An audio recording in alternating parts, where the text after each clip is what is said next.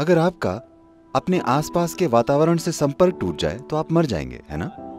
अनजाने में आपका जीवन, आप बनाम ब्रह्मांड है। आपकी एक ही समस्या है। आपका मानसिक ढांचा अस्त व्यस्त हो गया है। आप इसे आसानी से व्यवस्थित कर सकते हैं।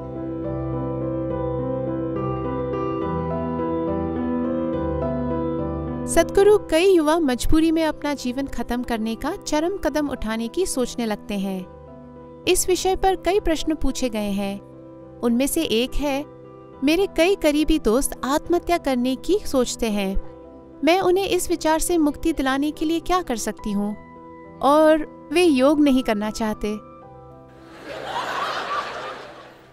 That's a rider, huh? तो यहाँ से इसका उत्तर देते हैं। सबसे पहले योग क्या है?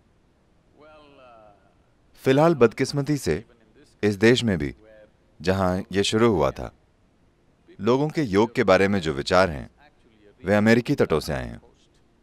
उन्हें लगता है कि योग मतलब खुद को अलग अलग आसनों में मोड़ना, असंभव आसन, ताकि आप बचे हुए नूडल की तरह दिखें।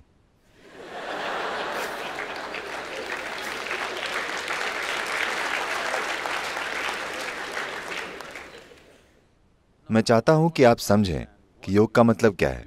योग का मतलब है मिलन। मिलन मतलब फ़िलहाल आप यहाँ हैं। क्या आप सांस ले रहे हैं? आपका दोस्त भी आपको लगता है साँसें लेता है? ठीक है। आप ज़रूर खाना खाते होंगे, पानी पीते होंगे। कई अन्य स्तरों पर लेन देन होते हैं। लेकिन कम से कम इन भौतिक चीज़ों के मामले में आप समझते हैं कि इस लेन देन के बिना आप जी नहीं सकते। ऐसा है कि नहीं? हेलो तो एक तरह से यह आपको बता रहा है, आप एक छोटे से प्राणी हैं। बस एक छोटे से पॉपअप क्या आपकी फ़ोन स्क्रीन पर पॉपअप आते हैं? जो आते हैं और चले जाते हैं। इस धरती पर भी आप बस एक पॉपअप हैं और आप चले जाएँगे। हाँ पर आपको लगता है कि आप अपने आप में एक अलग हस्ती हैं। नहीं, अगर आपका अपने आसपास के वातावरण से संपर्क टूट जाए तो आप मर जाएँगे, है ना? अगर आप खाएँगे पिएँगे नहीं तो मर जाएँगे। यही नहीं, हर कोशिका, शरीर का, हर परमाणु से भी छोटा कण लेन देन कर रहा है। ये लेन देन ना हो तो आप एक पल भी नहीं जी सकते। लेकिन मानसिक रूप से आप अपने आसपास एक परत बना लेते हैं कि आपको लगता है कि आप एक अलग हस्ती हैं, पूरी तरह से अपने आप में अलग हैं। योग का मतलब है जागरूक होकर अपने व्यक्तित्व की सीमाओं को मिटाना। क्योंकि अगर आप जागरूक होकर अपने व्यक्तित्व की सीमाओं को नहीं मिटाते तो अनजाने में आपका जीवन आप बनाम ब्रह्मांड होगा। मेरी ये बात आपको सुननी चाहिए। आप इस बारे में मेरी सलाह ले सकते हैं। ये मुकाबला करना अच्छा नहीं है। आप बनाम ब्रह्मांड हो तो आप हर हाल में मरना चाहेंगे।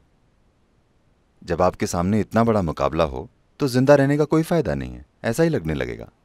तो आमतौर पर लोग इसे ऐसे संभालते हैं। अचेतन तरीकों से इसे थोड़ा सा मिटाकर। कोई किसी के प्रेम में पड़ जाता है। अचानक उन्होंने अपने व्यक्तित्व की सीमाओं को किसी और के लिए थोड़ा सा खोल दिया। अंग्रेज़ी कहावत फॉलिंग इन लव एक अच्छी कहावत है। क्योंकि आपके किसी हिस्से को गिरना होगा।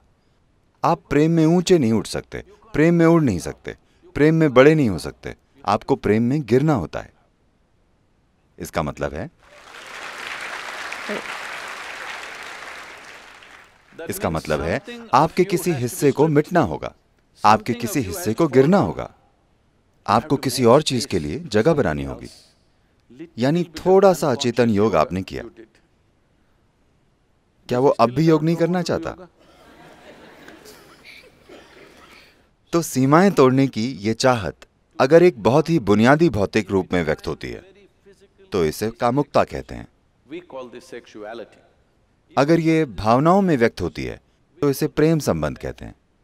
अगर ये मानसिक अभिव्यक्ति पाती है तो इसे आकांक्षा विजय या बस शॉपिंग कहते हैं।